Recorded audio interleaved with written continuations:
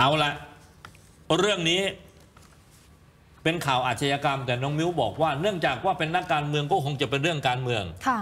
พอเป็นเรื่องการเมืองปุ๊บพักรวมไทยสร้างชาตินะฮะรอทสชก็เอาเลยฮะรออยู่แล้วค่ะอ่านะฮะเอ่อลูกเข้ามาลูกเข้าเท้า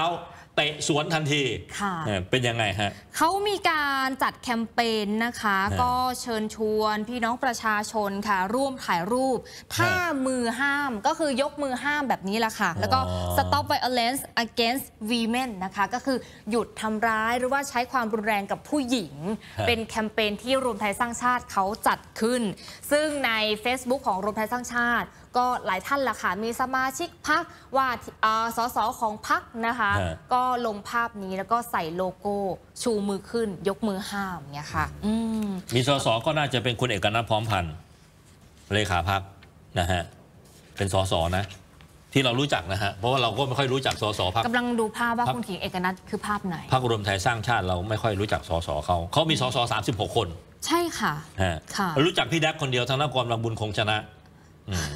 เป็นสสนะฮะค่ะนอกนั้นค่ะก็ไม่รู้จักพี่โบไงจะได้เป็นสสหรือยังยังไม่ยังมียังยังไม่มีใครลาออกนะฮอันนี้เป็นแค่สรอก่อนฮะก็ค่ะค่ะสมาชิกสภาคิวรอค่ะรอคิวรอไปก่อน พอมีแคมเปญออกมาแบบนี้ ปรากฏว่าบกรายจุด สมบัติบุญงามอนงค์นักเคลื่อนไหวทางการเมือง ก็ทวิตภาพของเอกนัทพร้อมพันธ์เลขาธิการรวมไทยสร้างชาติที่ออกแคมเปญดังกล่าวมานะฮะโดยบอกว่า โดยหลักการเห็นด้วยกับนายเอกนัทเรื่องยุติการใช้ความรุนแรงต่อผู้หญิง แต่นึกย้อนถึงสมัยที่กปปสไล่ล่านางสาวยิ่งลักษณ์นายกในขณะนั้นอย่างโหด จะโหนเรื่องนี้ก็น่าจะกระดากปากบ้าง อืมสมัยเป่านกหวีดฮะค่ะ ให้มันมันเกี่ยวกันไหม ก็พูดถึงการใช้ความรุนแรงกับผู้หญิงไงเหรอฮะ อ่าเอ่อ ทำไมมันคะเกี่ยวกันไหมฮะผมผมเริ่มจะสับสนนะตกลงเกี่ยว มันคืออันนั้นเรื่องการเมืองเขาปลูกม็อบมาไล่